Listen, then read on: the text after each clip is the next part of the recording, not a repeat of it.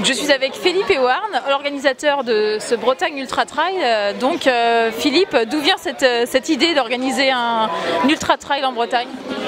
C'est tout simple, il n'y en avait pas déjà, donc euh, il fallait commencer. Donc, euh, hormis le raid du Goff, euh, qui était une épreuve longue distance, euh, un trail typé euh, longue distance, euh, il n'y en avait pas. Donc, on a, on au niveau du challenge euh, regroupé nos forces, euh, donc euh, 15 associations, euh, plus une dizaine d'associations partenaires.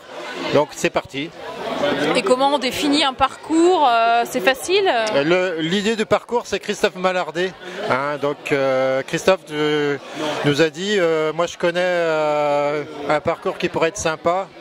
Donc, en partant du cœur du Morbihan, euh, Guerne, pour euh, relier la côte. Il faisait en VTT en entraînement, donc il nous a dit pourquoi pas. Et moi j'ai dit ça correspond à, l'idée du challenge, puisque le challenge euh, s'appelle Armor Argoat, et donc là on, rejoint de la terre à la mer, donc euh, ça va dans le sens, dans l'idée du challenge.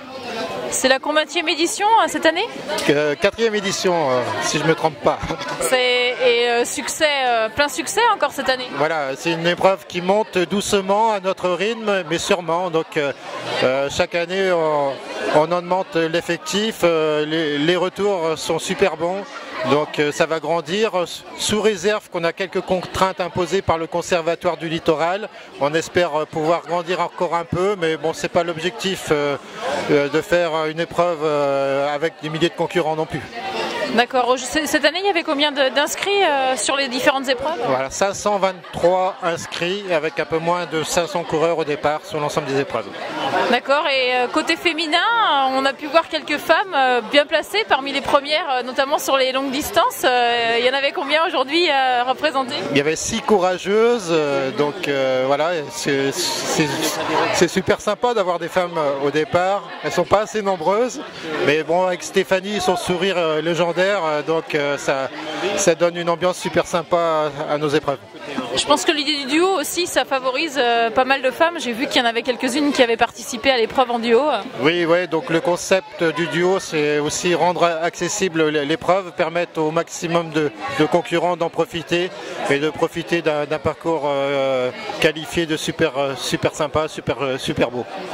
Donc satisfait de cette quatrième édition? Satisfait mais cramé. Comment ça Trop chaud?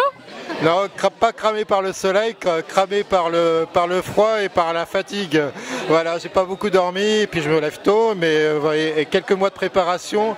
Donc voilà, je suis un peu fatigué, mais bon, euh, quand je vois les, les satisfactions des coureurs, ça, ça me rebooste. C'est c'est ce que je, je voulais terminer là-dessus. Ouais, une, une- une organisation de ce genre, ça demande euh, combien de temps de préparation euh Euh, voilà, je suis à fond depuis décembre, tout- tout- tous les soirs. Euh, J'organise en plus le trail de la Vallée du à, à euh, donc il y a 15 jours. Donc ça fait un peu beaucoup, mais quand on aime, on ne compte pas, on dit. C'est clair. Les passionnés, c'est comme ça. Voilà, donc ouais, une histoire de passion. hein. donc après, c'est sans doute pas une histoire de raison.